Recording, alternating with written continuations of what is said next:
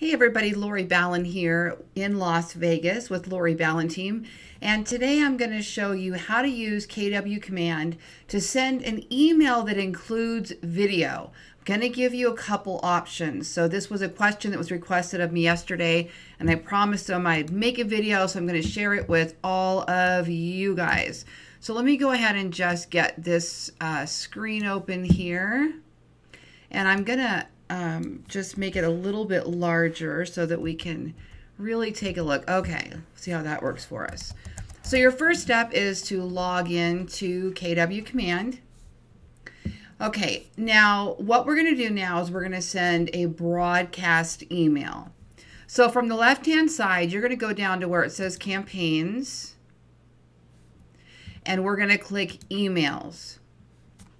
Now you must have command email set up. And you do that by going up here next to your picture, drop down that little arrow, go to settings. I'm going to, let's go ahead and do it. I'm going to go to settings.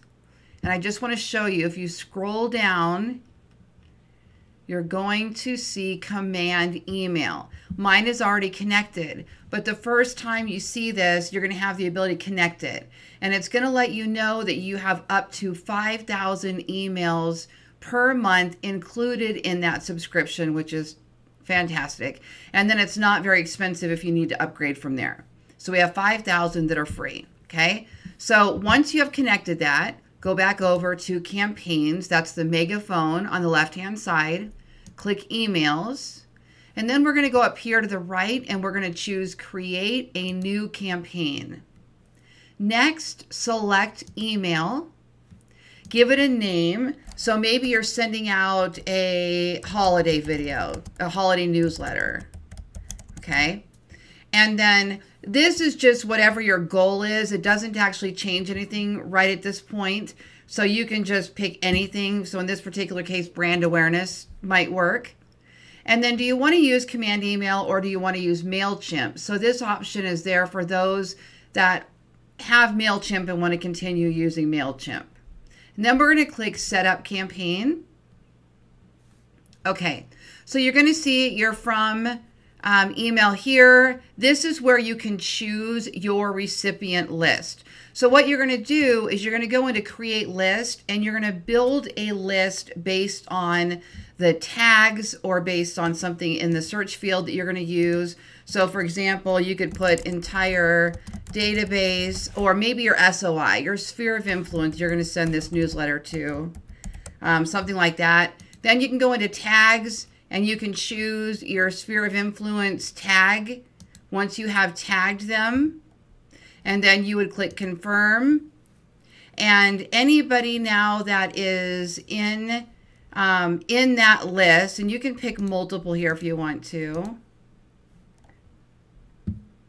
Okay, then on the left-hand side, their names are now appearing under this select all section.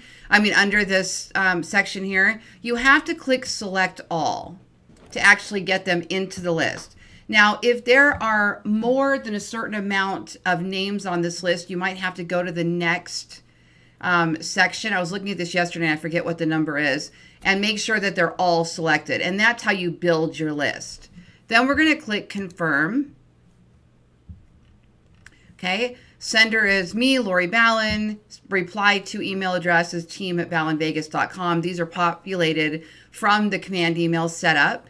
Then you're going to give it a subject line. Happy holidays. Okay. Then you're going to go into content. So we're going to click here, select design content for your email. Okay, so basically what this does now is it actually opens designs. So if you wanted to, you could go into designs and create your email first. Okay, that's another way to do it. We're noticing now with Facebook ads, Twitter ads, Instagram ads, um, landing different, not landing pages, but different applets now, it'll allow us to pull in designs and actually create all from that one space, which is really cool. So we have uh, my templates, and then we have KWRI templates. Okay. So originally we had a um, really cool newsletter template that was in here. And unfortunately, that newsletter template disappeared. So what you're going to want to do is you're going to want to take a look at all of the templates that are in here. Okay. So here's home anniversary, promote your app. And you can click on the three dots up here in the corner and click preview so that you can see if that's what you want to include. Okay. Now we're going to be able to edit these. So what you're really looking for is the format that you like because they're going, you're going to be able to edit them. Okay. So this one has several pictures, as you can see. All right.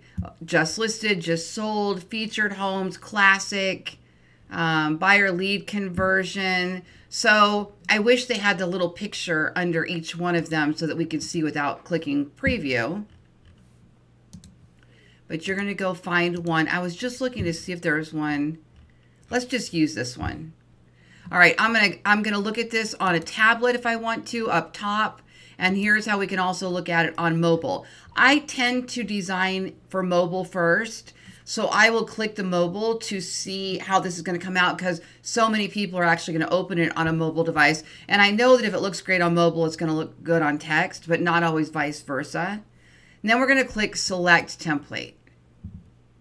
Okay, on the right hand side here, you've got text, image, button, legal header, legal footer, listing block, market snap, video, and event block. Okay, so these are called widgets. And if you have built a landing page, if you have created a page on your website, you have probably seen these. And these are basically page builders. They're little content blocks that allow something to be added to the page. Okay. So if I don't like all this text or I only want to keep um, this these merge fields, so for example, hi, contact first name, it's going to put in whoever's name is on that list, which is fantastic. It's, and then it's going to put in my name. So if you want to keep those, you can. And then you can just click this little pencil here. And on the, on the right, you can just edit everything else out of that if you want. And then you could put in, okay, that just got weird. So I might not even leave that block in there. Okay, hold on. Let me preview and just see what I'm doing there. So it looks like somehow I removed that entire text block, didn't I?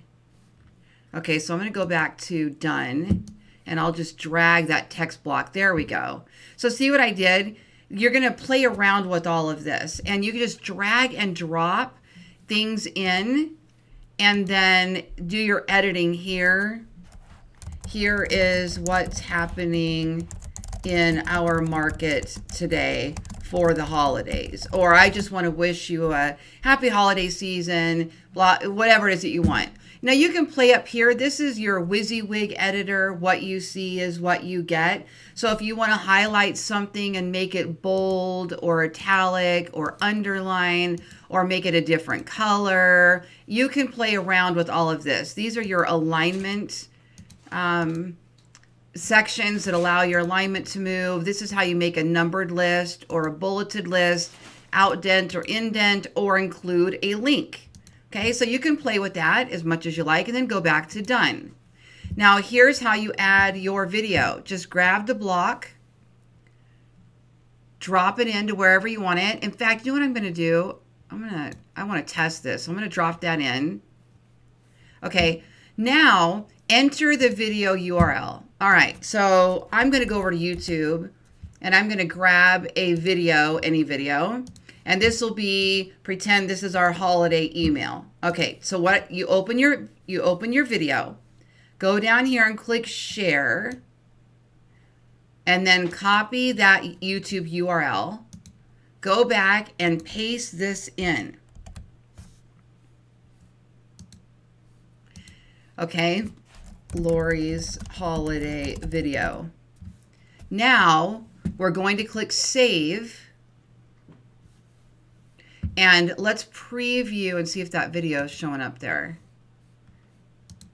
Okay, hold on. Let me make sure what did, what did I miss? Video, edit, enter video URL.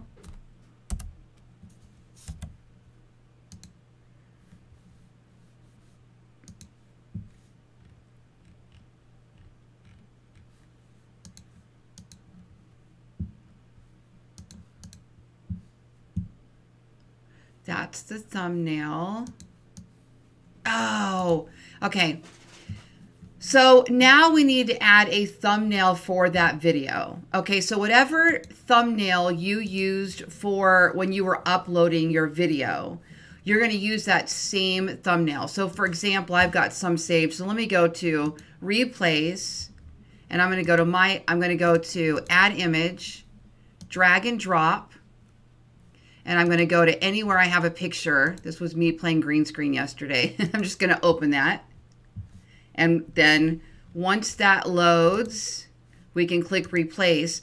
So what we're technically doing here is we're creating a, we call this a fake out, where the video itself is not actually in the email. It's a picture and a link. But once this is done, they it looks the same. So it's an image with the play button. So let's go ahead and preview. So I've got another tool that actually does that. As soon as I put in the YouTube URL, it actually does the fake out for me. So that's what I thought this was going to do. But this works fine too. It's just an extra step of uploading that video. Okay.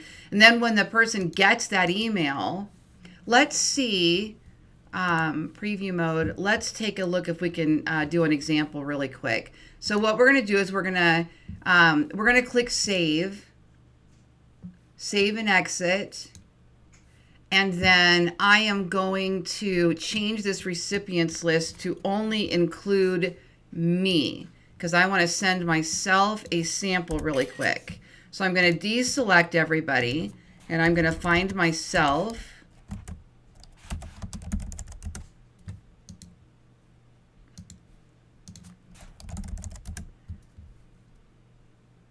right there.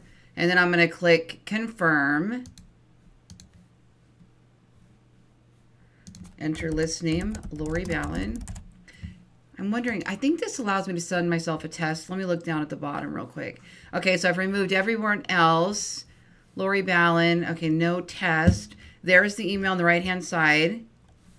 Schedule, save as draft, or send on my other program, I have the ability to send a test email. So that's just kind of what I was looking for, and I don't see it. So we're going to click send. Oh, that's perfect. Send now. Hopefully this doesn't go to anybody else with that funny picture. That would be hilarious. Okay, now we're going to go over to our email, and we're going to pull that up in our email real quick. Okay, here's the email. I got it right away with no problem. Looks great.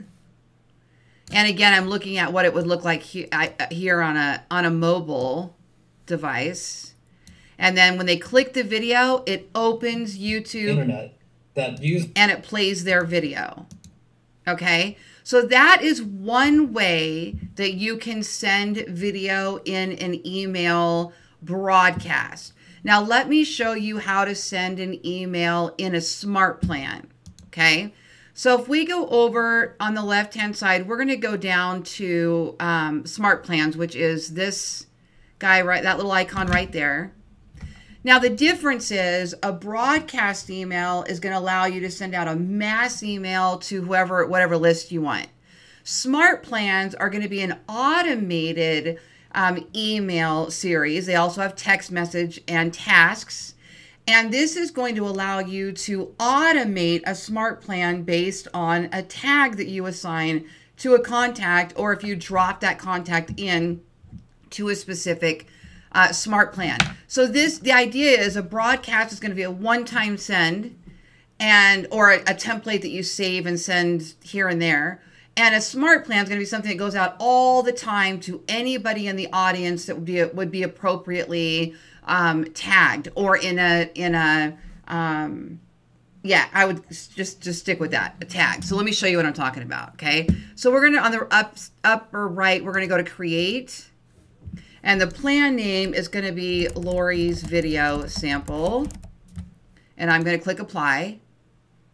So there are uh, smart plans that you can go pull from the shared library or from KW in this particular case, I want to show you how to do this from scratch. Okay, it's different because we don't are uh, we don't have the ability to add an image yet. We don't have the ability to add a text uh, um, a video URL. So let me show you what I'm doing instead. This is just an, another workaround.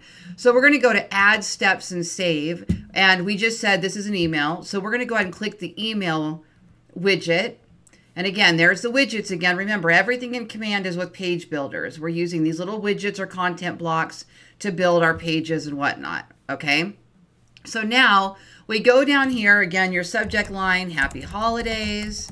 But remember, this is a this is going to be a campaign that goes out every time you assign a tag. So it's probably not a seasonal email. It's probably more like an evergreen email, like first time home buyers, home valuation. So one example might be um, um, about your home estimate. So let's just say you get a lead, somebody fills out your home valuation um, form and you want to send them a, a video um, that says, "Hey, I noticed you just requested your home e- estimate. Um, it was it's actually a computerized estimate that you got. I do want to talk to you a little bit about um, how it might be different if I come out and do a a personal valuation of your home myself or virtual if you want to say virtual, whatever. Okay. You have two options down here. You can send a simple email or you can click on designs. We can go to select design. Oh. Did we save that template we just did? Okay, hold on. I want to see something. Copy of classic preview. This is new. Okay, hold on. Watch this. So we're going to go to select template. Please be aware edits made now will change this design in your library. Any smart plans or campaigns using this design. Okay, we have not shared it. So we're going to go to got it. Oh my gosh, this works fantastic. Okay, so I was wrong earlier when I said we couldn't yet send video through smart plans. We actually can because now we can access the HTML designs Yay! This makes me so happy. And we can include it in here. So then we're going to do save and exit. And it's in there. All be darned. Okay, so there's that's the that's the best way. Um, the simple format that I was going to suggest before I realized we had that capability now. Every time I turn on command, there's new features and new ways to do things. I just love it. So this would be your email. Hi, and you're going to go ahead and do a drop in mail merge with the contact's first name. Okay. And then you would say whatever you want about their home estimate. And then you would say something like, I made this video for you. Take a look and let me know what questions you have. Okay, so one example of this might be um, you go out and do a virtual tour for somebody. So I've got somebody right now that I'm working with a referral and they want to see new homes that without all the staging. So these new home construction builds. So I'm going to go out and take video of the homes that they put out, the quick move-ins and whatnot that are not all staged, and then send that to them. Well, this might be a way to do that. Although I wouldn't use a smart plan if it's not. That's too personal. I was just thinking out loud. Um, okay, here's another option we run a Facebook ad and it's for a new listing that we just listed 123 Main Street. And we took a video of 123 Main Street. Well, now we can send a smart, create a smart plan, and anybody that's tagged with a buyer or potential buyer or Facebook ad or that listing, whatever they're tagged, a tag identifies the audience.